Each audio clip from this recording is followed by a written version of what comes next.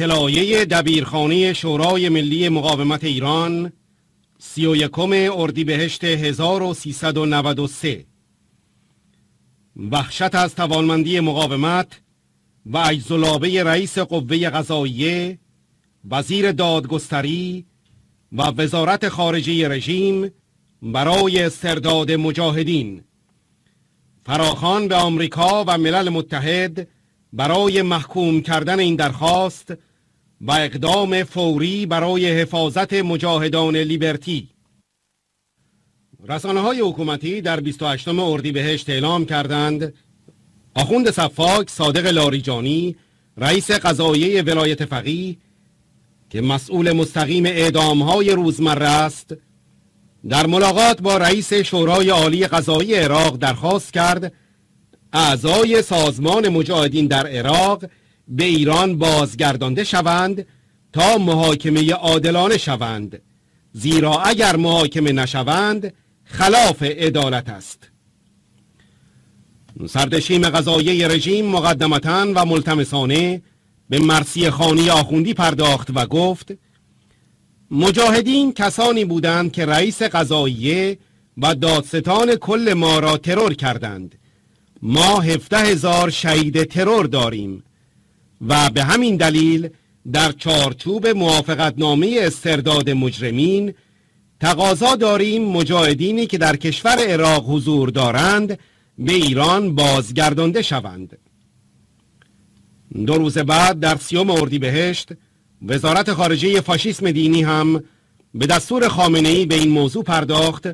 و سخنگوی آن با اشاره به شکنجهگران و پاسداران به هلاکت رسیده گفت در گفتگوهای بین مسئولان ایران و عراق موضوع مجاهدین مطرح است. آنها یک گروه تروریستی هستند که بیش از 17 هزار تن را به شهادت رساندند. ما همواره از دولت عراق خواسته ایم که آنها را تحویل دهند. این موضوع از طریق مراجع دیگر هم دنبال می شود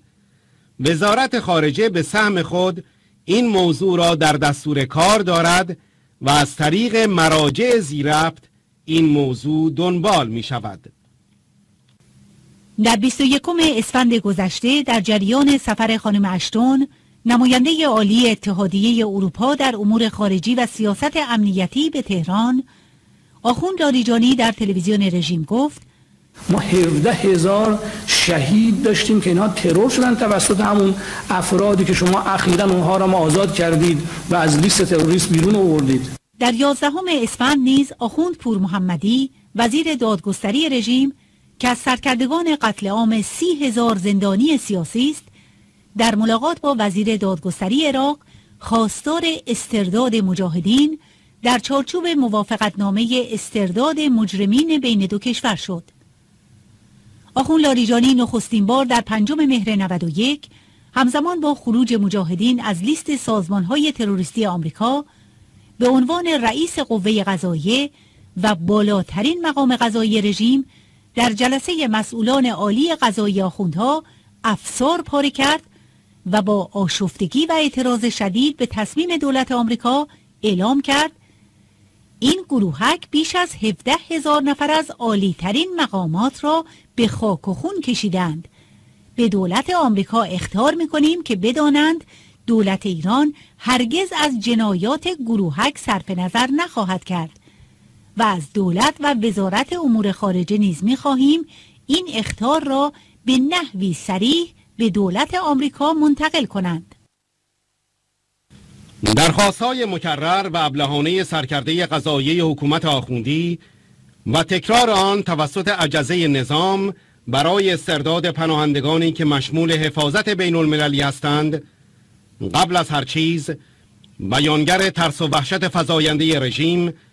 از خشم و نارضایتی فراگیر اجتماعی و توانمندی و جایگاه مقاومت سازمان یافته مردم ایران به ویژه پس از تحمیل زهر اتمی به این رژیم ضد انسانی است.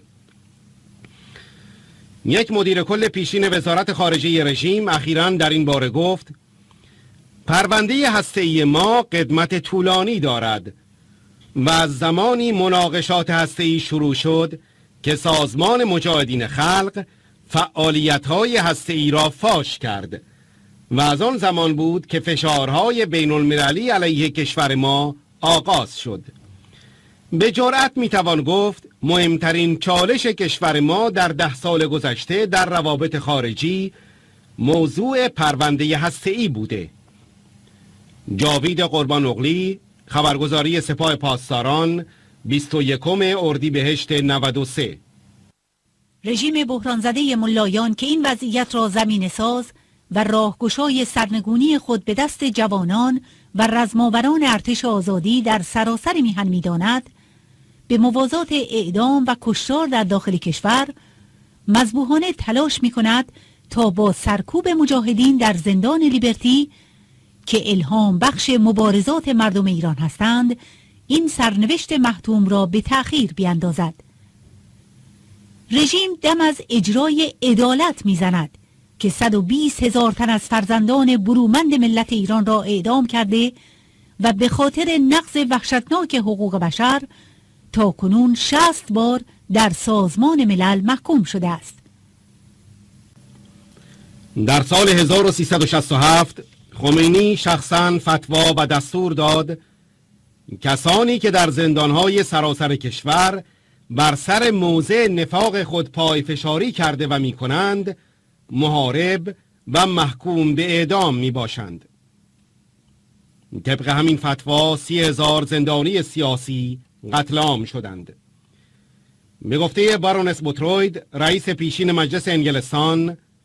بعد از جنگ جهانی دوم این بزرگترین جنایت علیه بشریت بود که کیفر داده نشده باقی مانده است. مردم و مقاومت ایران پیوسته خواستار ارجاع این پرونده به دادگاه جنایی بین المللی و محاکمه سردمداران رژیم بودند. دیکتاتوری دینی حاکم بر ایران همچنین از مرداد 1388 تا به حال در کمتر از پنج سال در 20 فقره حملات زنجیره‌ای زمینی و موشکی به اشرف و لیبرتی که از طریق مزدوران و حکومت دستشاندهش در عراق ترتیب داده 116 تن را به شهادت رسانده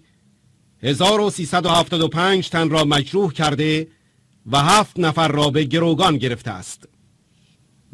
علاوه بر این 20 نفر را هم در محاصره پزشکی زشر کش کرده است. درخواست نفرت انگیز و غیرقانونی استرداد مجاهدان لیبرتی از سوی رژیم آخوندی خشم و اعتراض بین المللی را برانگیخته است.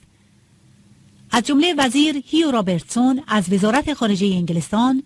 در پاسخ به اعتراضهای پارلمان این کشور در دهم اردیبهشت نوشت ما نگرانی هایمان در رابطه با این گزارشات را با دولت عراق مطرح کرده و از آنها خواستار توضیح شده ایم. آنها تایید کردند که این مسببه شامل ساکنان کمپ لیبرتی نمی شود. این مسببه موافقت نامه برای آن طراحی شده که برگشت زندانیان ایرانی را که مرتکب جرم شده و در عراق بازداشت هستند به ایران و بالعکس ترتیب بدهد. مطابق قوانین عراق ساکنان کمپ لیبرتی زندانی به شمار نمی آیند و بنابراین نمی توان آنها را مطابق این مسببه به ایران استرداد کرد. با این حال ما از طریق سفارتمان در بغداد به مانیتور این موضوع و وضعیت در کمپ لیبرتی به طور عامتر ادامه خواهیم داد. ما به مطرح کردن موضوعات با دولت عراق و ملل متحد هر جا که لازم باشد ادامه خواهیم داد. همچنین کمیساری های عالی پناهندگان ملل متحد در 16 بهشت در بیانیه خود تصریح کرد. کمیسر عالی پناهندگان ملل متحد مجددا بر این تاکید می کند که ساکنان کمپ لیبرتی مشمول حفاظت علیه اخراج یا بازگشت اجباری به هر محلی هستند که زندگی یا آزادی آنها را به خطر بیندازد یادداشت تفاهم بین دولت عراق و ملل متحد سراحتا برخورداری ساکنان از اصل نان رفولمان عدم انتقال و اخراج و بازگشت اجباری را به رسمیت می شناسد. به گزارش خبرگزاری های سپاه پاسداران، جهاد دانشگاهی و بسیج کارگری رژیم در 28 اردیبهشت 93 رئیس شورای عالی قضایی عراق نیز به لاریجانی گفته است موضوع مجاهدین جنبه های سیاسی دارد وی موضوع را به دولت عراق و سازمان ملل ارجاع داده تا با همکاری آنها با یکدیگر مسئله برطرف شود. پیداست که منظور بیرون رفتن مجاهدین از عراق و انتقال آنها به کشورهای دیگر با همکاری سازمان ملل است تا نگرانی رژیم برطرف شود. چرا که مسئله رژیم هیچگاه ماهیت حقوقی و قضایی نداشته و با کابوس سرنگونی سیاسی آن عجین است. دیروز سیوم اردیبهشت سخنگوی شورای عالی قضایی عراق که رئیس این شورا را در سفرش به تهران همراهی می کرد به خبرگزاری ملی عراق گفت پرونده سازمان مجاهدین خلق در عراق را قوه قضاییه عراق تعیین نمی کند بلکه این دولت های ایران و عراق هستند که این پرونده را بین خودشان تعیین تکلیف می کنند چرا که این موضوعی با ویژگی سیاسی است. این موضوع در صلاحیت قوه قضاییه عراق نیست. مقاومت ایران درباره نیات رژیم آخوندها و دعاوی و اظهارات رئیس قوه قضاییه وزیر دادگستری و وزارت خارجه آنها هشدار می‌دهد و دولت آمریکا و ملل متحد را که بارها و به صورت مکتوب نسبت به امنیت و سلامت ساکنان لیبرتی متعهد شده اند به محکومیت این اظهارات و اقدام فوری و موثر در حفاظت از ساکنان لیبرتی فرا می‌خواند. سکوت در مقابل این اظهارات که همه قوانین و معاهدات معتبر بین المللی را نقض می کند رژیم و دست نشاندگانش در عراق را در اقدامات غیرقانونی و ضد انسانی تشجیع می کند